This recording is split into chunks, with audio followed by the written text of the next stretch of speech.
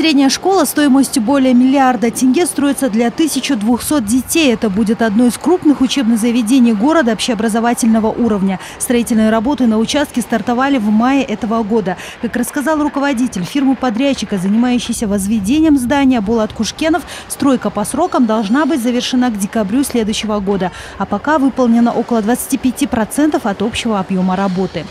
Аналогичный проект э, такой же сейчас э, сдается в сентябре э, в Заречной 4 на 1000 мест. Он нач... в прошлом году начался, тоже в это время, в мае месяце, ну, в октябре месяце, то есть в прошлом году. И в этом году, где-то в сентябре, в октябре будет сдаться в эксплуатации. Параллельно со школой было начато строительство детского сада. Располагаются они неподалеку друг от друга. Там планируют принять 320 малышей ровно через год. Говоря о развитии нового для города района Нурак-Тубе, советник Акима города Геннадий Дудаков отметил, что застройка ведется по плану. Вообще масштабный по замыслу проект, в рамках которого хотят построить 16 микрорайонов, для сравнения пока их только два, причем второй еще застраивается, должен подойти к своему логическому завершению через 6 лет. У нас сейчас вот уже заселено порядка 850 семей. Здесь живут порядка 850 семей, это по системе жилстройсбережения.